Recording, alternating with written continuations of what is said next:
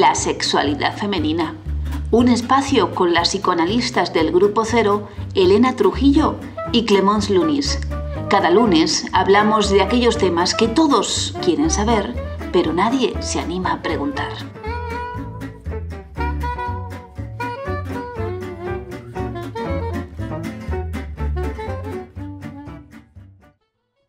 Sí, ya estamos emitiendo en directo. Clemence Lunis, bienvenida. Bienvenida, Elena. ¿Qué tal? ¿Cómo estás, doctora? Pues aquí, aquí con, con, los medios técnicos que son apasionantes. Lo has conseguido, lo has conseguido. Muy bien. Entonces, hoy retomamos la sexualidad femenina y estamos abriendo la cuarta temporada. Cuatro temporadas. Sí, inauguramos, eh, es decir, que hemos eh, resistido tanto tiempo, seguimos en el puesto, mantenemos la sexualidad femenina, el programa de radio. Eh, este año, ¿cómo va a ser, Elena, este programa de radio? Este año va a ser un cara a cara. Un cara a cara. Sí. ok, de acuerdo. Eso Insostenible, como dice el poeta. ¿En qué sentido? En el sentido que se trata no solo de hablar, sino de un compromiso con la palabra. Porque las mujeres somos especialistas en hablar. Ahí en el pasillo tenemos eh, un, un, gallinero de personas conversando, pero las palabras se las lleva el viento. Es decir, que hace falta la materialización. Y tú me dirás, el programa de radio, de televisión, este espacio compartido en cuatro temporadas ya es la materialización, pero hace falta un cadáver. bueno, ya quiere empezar, ya quiere matar. Hoy eh, queremos, estamos muy contentas de estar aquí de nuevo, abriendo esa nueva temporada. Y me hago una primera pregunta, Elena. Sería, ¿por qué seguimos? Seguimos, Clemos, porque es fundamental, porque ya hemos dicho que reiterar es educar y que no solo le hablamos a las mujeres, porque podríamos apropiarnos y decir la sexualidad femenina es una cosa de mujeres y decir que este espacio es excluyente para los hombres. Pero no es así. Todos aquellos que nos conocen ya en nuestra trayectoria, en nuestro trabajo, además en otras facetas del mismo, saben que cuando nos referimos a sexualidad femenina, estamos incluyendo al hombre. Es decir, que hombres y mujeres están implicados en esta producción de la novedad, de la novedad de lo femenino, porque lo femenino, hasta el día de hoy, es lo más reprimido en la vida de los seres humanos. Así que queremos despertar a esa mujer y ponerla a flote, que todo el mundo la vea, que tiene que estar por todas partes y tiene que haber voces de mujeres que se puedan escuchar. Eh, también pensaba, porque tú hablabas de educar, y eh, también pensamos en ese caso, en el caso de la mujer, que además de educar, que sería también revolucionar.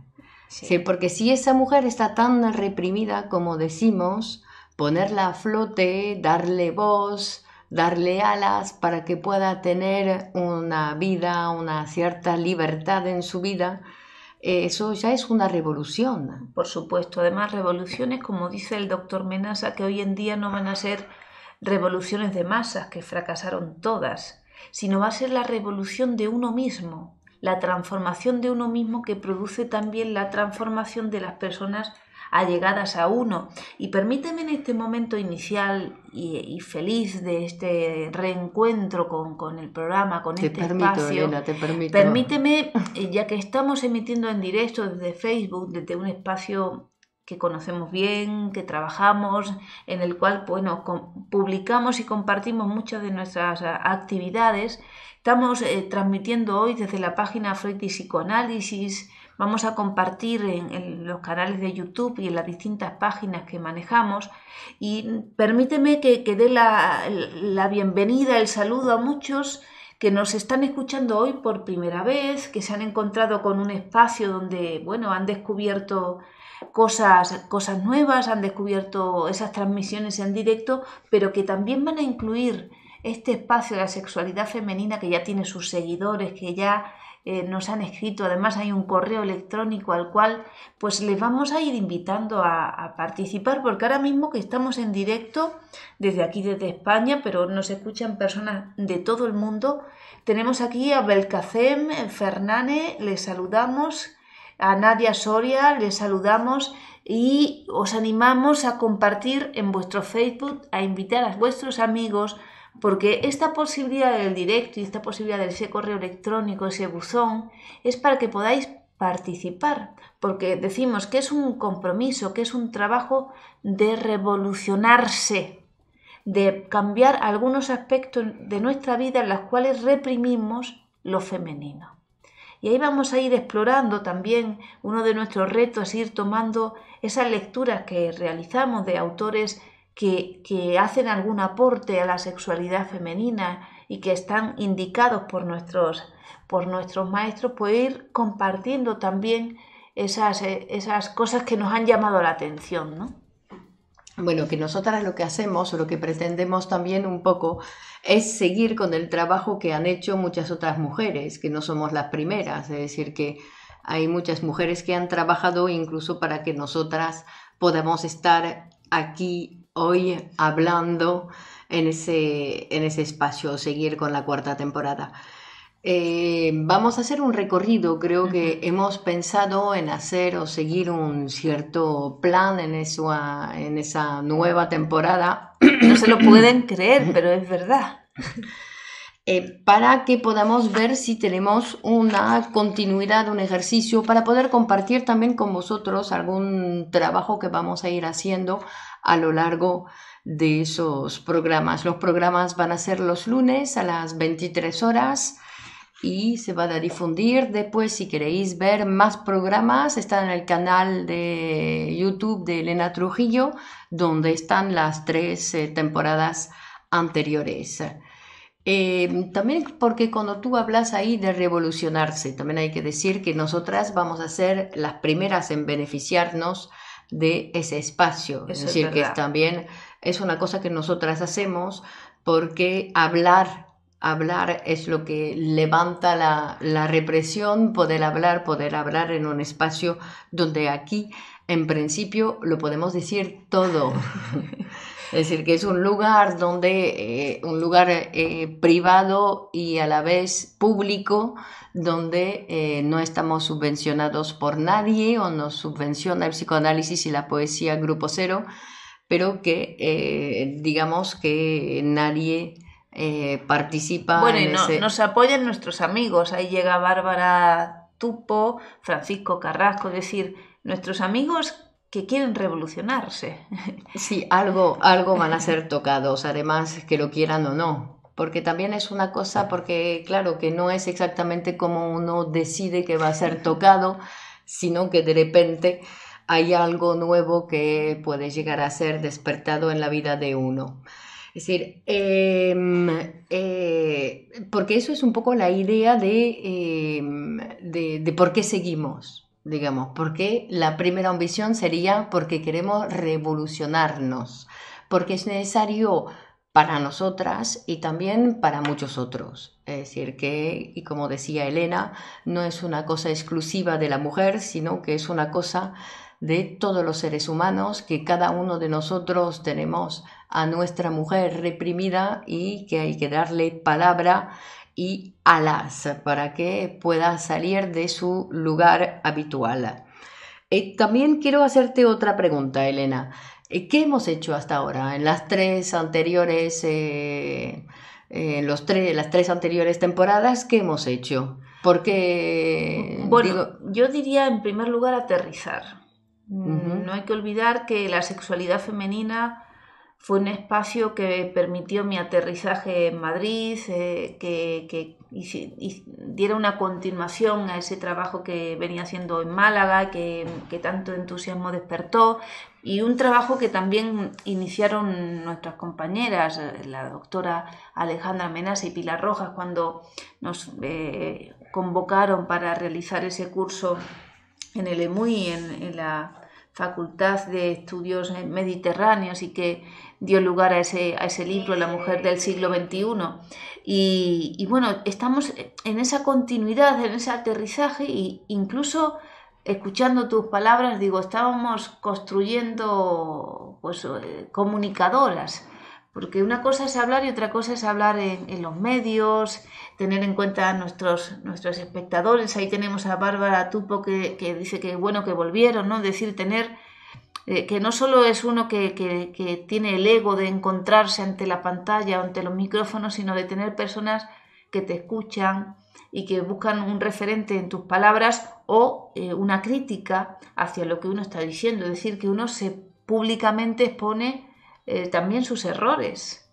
Y, y, yo creo que en tres años, en, los cuales no hemos dejado de, no solo de encontrarnos en este espacio, sino de formarnos, de, de, trabajar en nuestros respectivos análisis y, y de, de, someternos a ese crecimiento personal que nos compromete con, con el amor, contar a, quien, a quien no sabemos lo que, ¿no? lo que el otro necesita tomar en, nosotros. Y, bueno, es, yo creo que el, el, compromiso de continuar es que es necesario. Es necesario porque hay una represión muy manifiesta, pero a la vez muy disfrazada de muchas de las posibilidades de, de expresión de las personas, ¿no? de la capacidad humana que, no solo acontece en Europa o en España, también en, cualquier otro de los países. Vivimos una época donde tenemos más medios, pero a la vez más incapacidad de, de tolerar las diferencias. De tolerar las diferencias. Es decir, que no nos vamos a repetir o nos vamos a repetir. Aquí, porque la sexualidad femenina, yo tengo algunos recuerdos de cómo cuando ah, empezamos, eh, cuando empezamos, las propuestas también que nos habíamos hecho para ir hablando, también que al principio quizás había, hacíamos más hincapié sobre lo que era la sexualidad o la sexualidad eh, de la mujer principalmente, cuando sabemos que la mujer vive en cada uno de nosotros, y que eh, seguramente vamos a ir repitiendo, repitiendo, pero como bien dijiste, es en la reiteración que nos vamos transformando, que vamos aprendiendo, así que todo va bien y que la idea sería eh, abrirse nuevos conocimientos, pero que hay que saber también que los conocimientos no son conocimientos que queremos divulgar o que nosotras tenemos conocimientos y que queremos eh, dar a los demás, sino que es una cosa em, que los vamos a conocer nosotras mismas, los conocimientos que tenemos al hablar. Eso es lo bueno de poder hablar, que uno va descubriendo sus, sus propias ideas. Y para que ustedes, si quieren, porque bueno, tienen la opción aquí en Facebook de ir dando su, haciendo sus comentarios en el Facebook o sus preguntas, eh, si las hay, pero también pueden disponer de la dirección de mail que es la sexualidad femenina radio gmail.com, la sexualidad femenina radio mm, gmail.com, una dirección ya que tenemos desde hace, bueno, todos esos años, hace cuatro años que tenemos esa dirección donde nos pueden consultar, donde nos pueden escribir y que ahí también tienen un espacio para decir lo que pues lo que les venga bien, lo que les venga bien, es decir, que es un espacio de libertad para nosotras y es un espacio de libertad también para vosotros. Es decir, que cada uno puede expresar, es un espacio para, para todos, ¿no? Vamos a decir. Aquí llega nuestro amigo Joaquín Jiménez de Talmería que nos tiene invitado, dice que nos va a hacer allí una fiesta cuando vayamos. Saludos a Andalucía, que muy pronto estaremos también por allí. Es una alegría reunir eh, en un mismo tiempo y un espacio, una localización, eh, como es la red social, personas de tantos distintos lugares geográficos, pero que comparten el, deseo de, de, escuchar, el deseo de abrir también su pensamiento, porque nosotras somos psicoanalistas de la escuela Grupo Cero. El psicoanálisis ya es una cosa especial por, por, por novedosa, por reciente, por subversiva, porque nos viene a plantear cosas que nos resultan desagradables, pero que son necesarias para nuestra salud, para el futuro de las personas y de la humanidad. Y luego el grupo cero, que, ya es una mezcla con ese psicoanálisis y con la poesía, es una mezcla explosiva en el sentido de que abre tantos caminos eh, para la construcción humana, para la convivencia, para, para la reflexión, para que no seamos nunca los mismos, que también produce a veces sus movimientos en, las personas, ¿no? Y en esa aceptación y rechazo es cierto que no dejamos indiferente a nadie, que, que nadie nos puede decir que traicionamos nuestro deseo porque en el grupo cero eh, nos comanda la poesía, evidentemente. Bueno, y el psicoanálisis, creo que realmente Grupo Cero es eh, poesía y psicoanálisis, es que van los dos juntos, no podemos apartar uno del otro. Después cada uno tendrá sus preferencias o sus momentos, o con el trabajo, con la lectura, con el estudio, pero que realmente son esos dos instrumentos que utilizamos para, para transformarnos, porque efectivamente el psicoanálisis abre puertas y que después esas puertas pues permite un caminar diferente, un hacer diferente y una propuesta para la vida de cada uno que venga con sorpresas. Y es muy interesante, Clemons, porque han pasado los años pero veo como hay muchas personas que, están entendiendo esa importancia de la poesía en el psicoanálisis y en la vida también. Que, hubo un tiempo que, que, había que como que explicarlo, ¿no? Pero parece que, muchos lo están tomando en ese sentido de, de esa construcción personal donde no solo puede basarse en hablar de uno mismo todo el tiempo o hablar de todos los errores que uno comete, sino de de leer, de aprender de otros que han pensado otras cosas diferentes, además diferentes a la neurosis, ya que no se quedaron reconcomiéndose, sino que produjeron una obra escrita, como acudiendo también al trabajo de esos autores, uno en su análisis tiene otra, otra, otra máquina en funcionamiento, ya no solo la de me duele aquí o me molesta esta otra persona, sino poder hablar de, de, tus lecturas, de, tu escucha que se va conformando también a través de esas lecturas. Si hablas de la posibilidad de analizarse fuera de cualquier enfermedad aparente, digamos, porque después los síntomas de repente surgen en cualquier momento. Y bueno, pero que claro, que cuando uno está en análisis esos síntomas duran muy poco, es decir, que surgen ahí, pum, y se desvanecen así como una burbuja de aire. Así que, y que conviene porque, claro, porque ayuda a pensar, ¿no? Ahí hablabas de compartir como lectura, su poder tener un lugar donde hablar de la sorpresa, lo que produce en cada uno, o el descubrimiento de un autor, el descubrimiento de, de un texto, de una lectura, pero también de ir fabricando ese pensamiento, de ir como vamos abriéndonos y poder tener un lugar donde vamos construyendo ese, esa novedad que vamos, vamos haciendo, porque no solamente se trata de leer o de estudiar o de escribir, sino que hay un lugar donde uno pueda llegar realmente a construir y a recordar además que está el inconsciente, que uno no termina de, cerrar la puerta y decir ya me lo sé, ya está, ya entendí, ya está bien, sino que, que es una cosa que no se termina, que no se termina nunca, que el análisis es para toda la vida y que, que, más allá incluso se dice que uno realmente empieza su psicoanálisis cuando ya los, los síntomas no están obstaculizando el crecimiento sino que ya podemos, hemos apartado los obstáculos y ya podemos ir andando como una persona normal, diría yo.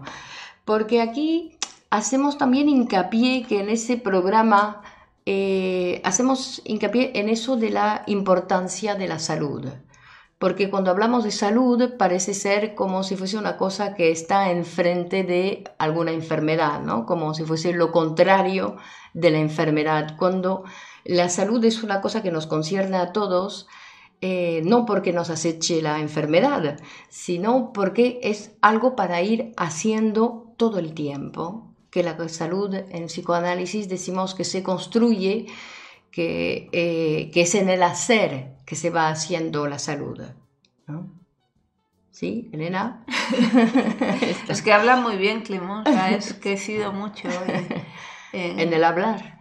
Sí, en el trabajo que estás haciendo de estudio, compartiendo tus clases sobre, sobre la interpretación de los sueños, eh, que es importante porque eh, si incidimos en la cuestión de, del análisis, que queremos como que todo el mundo conozca no solo los beneficios de terapéuticos de psicoanalizarse, Hoy una persona especialista en marketing me decía, eh, es muy importante que usted le indique al otro en sus mensajes publicitarios eh, aquello que el otro está buscando satisfacer o curar, porque la gente no quiere pensar diferente, sino que busca solo la satisfacción de sus necesidades. Lo que pasa es que yo no estoy del todo de acuerdo con eso. Es decir, no estoy del todo de acuerdo en que la vida sea solo la producción económica, sino también sea darle al otro algo que, el otro lo va a usar para otra cosa. Bueno, la, la producción de una vida. Porque también es como decir, si no, parece que estoy intentando vivir para lo que decía Freud, ¿no? Es decir, que lo que busca el ser humano es que no me duela. Pero eso es como el primer, el primer paso para poder empezar a vivir. Primero no me duele, no me duele las relaciones con los demás, no me duele mi relación con mi cuerpo, no me duele mi relación con el trabajo. Entonces, a partir de ahí, ya una vez que me ha dejado de doler esos lugares, ya puedo empezar a vivir, porque si no, ¿qué es? Una lucha contra los dolores. Y además, como estamos viendo también como una propaganda que van haciendo como si esa fuese la única manera de vivir, es decir, de luchar contra mi vida, que es luchar contra los dolores. Y, y no es así, sino que la vida es construir una vida, la vida de cada ser humano, poder llegar a decir, estoy viviendo la vida que quiero, estoy viviendo la vida que, que quiero hacer y que tengo un proyecto de vida, sé sé qué camino quiero ir recorriendo, quiero ir haciendo más bien, porque el camino no está hecho. También eso es una cosa muy sorprendente, ¿no? Acordándome de hallazgo de, de, la vida de César Vallejo, ese texto maravilloso donde uno se da cuenta que mi vida no está hecha. El minuto que está por llegar no está hecho. No sé lo que voy a decir en la próxima frase. Entonces es una cosa que uno va a ir haciendo cada vez, tomando ahí un poco de, vida, haciendo un poco de vida, o con la escritura, o con la palabra, o con esos actos sociales, donde ahí es una vida. Y cuando decimos actos sociales, es decir, cosas compartidas, una construcción, un proyecto compartido con otros, para ir haciendo una vida, además con los demás es mucho más gozosa la vida poder compartirla con, otros, porque se hace como múltiple, se, se multiplica los beneficios, no solamente vale mi trabajo, sino que también de alguna manera repercute el trabajo del otro, repercute también en mi vida, entonces todo se multiplica en, en, los movimientos eh, grupales, en el movimiento con otros. Entonces, incluso la salud, porque también podemos pensar que la salud cuando se construye con otros, bueno, no sé si existe una salud sin otros, la verdad, que los otros están siempre, ¿verdad? Es que somos un sujeto social. Si no existe lo social, no existe el sujeto psíquico. y, la salud eh, no, no es la ausencia de dolor o de enfermedad, sino es eh, poder poner nuestra energía en relación con los otros, la articulación con otras personas y con los proyectos. Ahí eh, tienes razón en, lo que dices, ¿no? No tiene sentido hacer este espacio si no hay personas que lo escuchan. Y no solo nos dirigimos a personas que sufren, en el sentido de pensar que, la salud tiene que ver con, con el que está enfermo o que carece de salud, sino que la salud es en cualquier persona que nos escuche, poderle hablar de la importancia de mantener su máquina en adecuado funcionamiento.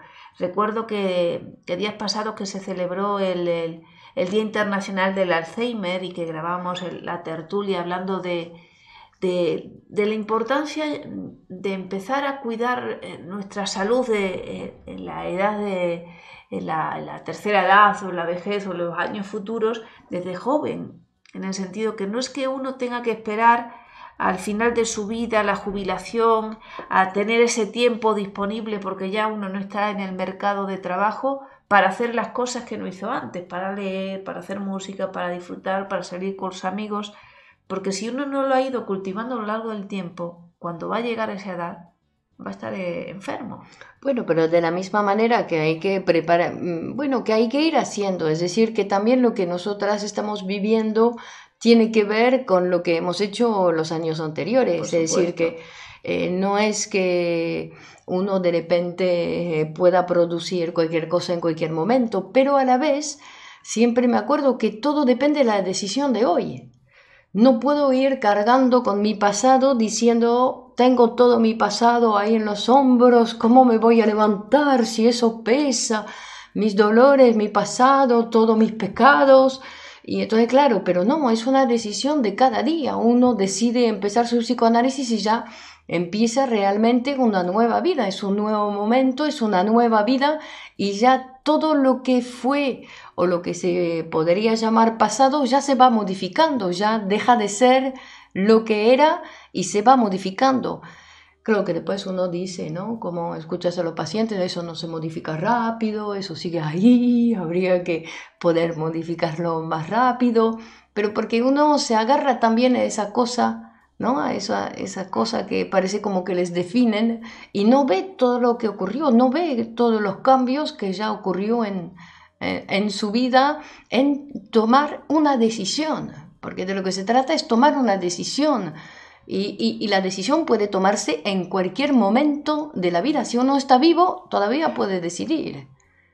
¿no? Para un cambio, porque tomar una decisión es cambiar. Pero ahí me, me hace plantear que hoy en día está muy de moda o a lo mejor siempre ha sido así, ¿no? Pero personas que cambian radicalmente su vida, que abandonan su trabajo o que no están sumidos en un, en un proyecto de vida y se van a otro país y se va...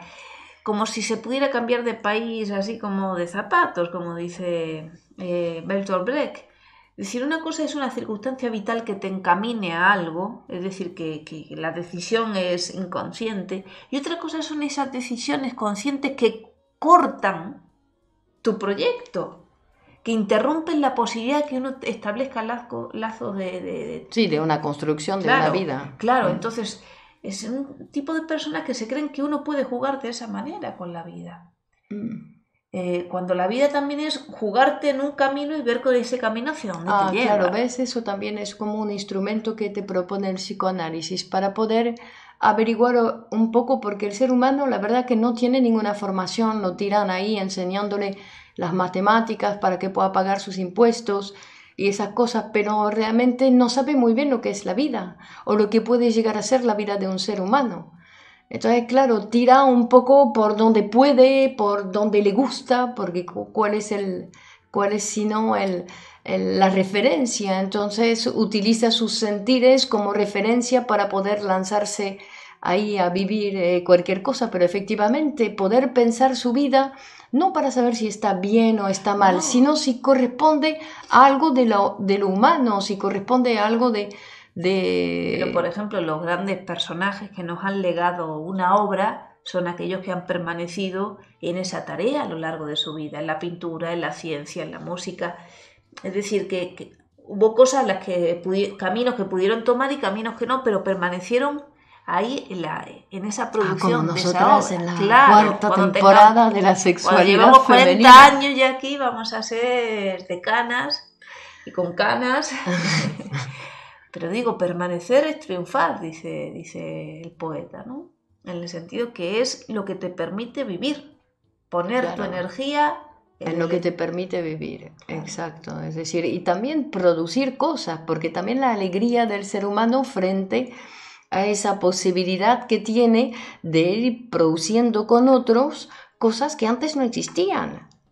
Claro, porque yo me voy de vacaciones un mes al mar y me la paso bien y, y tengo unas sensaciones uh, uh, uh, súper agradables y todo, pero no produzco nada. Entonces, claro, es necesario el descanso. Yo no estoy en contra de las vacaciones, pero digo, que a veces uno tiene esa, ese afán por estar de vacaciones cuando eso no produce nada, entonces no hay rebote, no hay después una satisfacción, incluso cuando después uno vuelve de vacaciones se siente deprimido porque ya tiene que abandonar ese lugar de placer, entonces cuando, eh, cuando uno produce algo, consigue producir algo con otros, pues tiene un rebote, se le vuelve esa satisfacción de haber hecho algo, de haber dejado algo hecho. Como puede ser una pintura, una música o, un programa de... también, o un hijo. Es decir, que tener un hijo también es un trabajo muy importante para la especie. Es decir, que tenemos que agradecer que todavía haya mujeres que digan, me voy a poner el trabajo de juntarme con un hombre,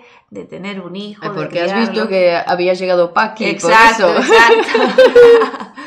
que es un trabajo que hay que agradecer, que haya personas que hagan eso y que además tengan la generosidad de no quedarse con sus hijos, sino de entregarlos al mundo, de educarlos para que sean eh, un ser humano más. Claro, pero que eso también es una cosa porque como por ejemplo en el grupo cero el 25 de octubre empezamos, inauguramos un, un simposio que va a durar tres días sobre los múltiples intereses del psicoanálisis y pensando en eso, porque creo haber visto que en el programa hay justamente un tema que dice que además de la reproducción que está al alcance de todos los seres humanos o de todo el animal humano que somos, que también está la producción, es decir, que la mujer no se tiene que dejar cegar por esa cosa de la reproducción, porque efectivamente es, un trabajo, pero bueno, y además complejo, porque no se trata de parirlo o darlo de comer, sino que hay mucho, mucho más cosas para, para ir haciendo, pero que además de ese trabajo, claro, porque ahora que hablas de los hijos, hay que aprender. Hay que aprender cómo, cómo tratar, cómo relacionarse con los hijos, qué dar, qué no dar, es decir, eh, qué enseñar, qué no enseñar, cómo vivir al lado de un hijo. Es decir, cómo vivir al lado de un hijo, cómo hago yo para seguir con mi vida al lado de mi hijo para que no sienta ausencia, bueno, aunque la sienta, pero digamos que no, que haya una, un amor, que uno pueda amar y sin sentirse culpable porque está haciendo su vida. Bueno, justo con eso de sin sentirse culpable para que los sentimientos no lo sean todo, porque a veces en el ámbito familiar hay como como si reinan los sentidos, eh, la afectividad, el cariño, y ese ya es el chantaje emocional que va a reinar en tu vida. Cuando sabemos que la vida tiene que estar regida por otras cosas diferentes a los sentimientos. Por eso que a la, a la madre le conviene hacer otras cosas que ser madre, que es un gran trabajo, que ocupa mucha, mucho espacio, pero que además, a pesar de todo, hay que seguir trabajando para eh, poder tener otro tipo de satisfacción, porque si no es una satisfacción bastante pobre y además los hijos se van. los hay que, hijos hay que dejar que se vayan, hay que invitarles a que se vayan. Sí, sí, es cierto, porque si la madre no tiene otra vida que su papel de madre, pues cuando los hijos quieren volar, ella lo quiere, quiere, impedirlo, se lo quiere quedar, claro, porque sí es un elemento de su vida. Cuando un hijo no tiene que ser un elemento de la vida, es un, es un trabajo. Bueno, Elena, felicitaciones por la inauguración de esa cuarta temporada. Igualmente. Así que volvemos todos los lunes a las 23 horas aquí en Facebook e intentaremos distribuir y nos pueden ayudar también a compartir el programa para que otros puedan eh, conocer eh, su existencia. Quizás puede interesar a más gente. Y eh, nosotras seguimos entonces la semana que viene a la misma hora. Recordamos la dirección de mail si nos quieren eh, escribir la sexualidad femenina radio arroba gmail.com la sexualidad femenina radio arroba gmail.com Muy bien, Clemos Lunis y además les invitamos a seguir nuestras páginas porque mañana tú también das una interesante clase sobre la interpretación de los sueños. Tenemos otra otra retransmisión el miércoles para hablar del complejo de Edipo. Nuestra compañera Laura dio una, su programa, el programa de, Laura. Eh, hoy a las 5, es decir, que Virginia Valdominos va a empezar mañana también empieza, sí, mañana cuatro cursos. cuatro cursos sobre la interpretación de los sueños y sobre la depresión. Sí. Es decir, que estamos ahí eh, difundiendo el psicoanálisis a tutiplén eh, para que nadie pueda decir que no ha tenido la oportunidad de escuchar, por lo menos de escuchar algo, y después para llegar al diván. Porque eso es una cosa, no es que sea publicidad, es difusión. Tenemos que hacer la diferencia. Es difusión. Es decir, que el psicoanálisis es algo muy beneficioso para todo el mundo. Incluso para ti. Eso es. ¿Me hablas a mí? Continuamos la próxima. Muchas gracias por habernos acompañado y un saludo afectuoso a todos y cada uno de vosotros. Besos, besos. Adiós.